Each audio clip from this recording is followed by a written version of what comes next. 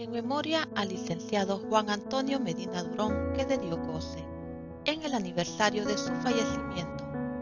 Juan Antonio Medina nació un 25 de junio de 1944 y falleció el 22 de noviembre del 2015. Elevamos una plegaria por su eterno descanso y resignación cristiana a sus familiares.